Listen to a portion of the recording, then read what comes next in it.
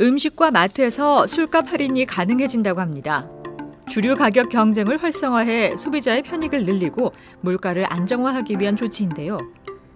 국세청은 최근 소매업자는 소비자에게 술을 구입 가격 이하로 팔 수 있다는 안내 사항을 한국주류산업협회와 한국주류수입협회 등 주류 관련 단체들에게 보냈다고 합니다. 국세청은 그동안 주류를 실제 구입 가격 이하로 판매해서는 안 된다고 명시해 왔었는데요.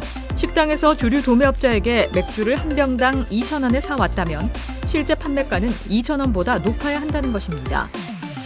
이는 소매업자가 술값을 구입 가격보다 싸게 판매하고 손실분을 공급업자에게 받아 메꾸는 방식의 편법 거래를 막기 위한 조항이었습니다.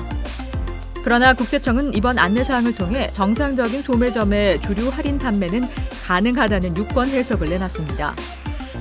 덤핑 판매 등 시장 질서를 훼손하는 거래 방식이 아니라면 식당이나 마트 등 소매업자들이 술값을 자율적으로 정해 판매할 수 있게 한 것인데요. 이는 기획재정부가 지난 3월 내수 활성화 대책을 발표하면서 주류 시장 유통 및 가격 경쟁을 활성화해 소비자가 체감할 수 있는 할인 확대를 유도하겠다고 한 것의 후속 조치입니다. 국세청의 유권 해석이 업계에 전달되면 식당과 마트의 술값 할인 경쟁도 본격화할 것으로 관측되는데요. 음식점이 홍보 및 고객 확보를 위해 2,000원 공급받은 맥주를 싼 가격에 판매한다면 5, 6천 원 수준으로 올라간 술값이 과거 수준으로 회귀할 것이라는 기대도 나오고 있습니다.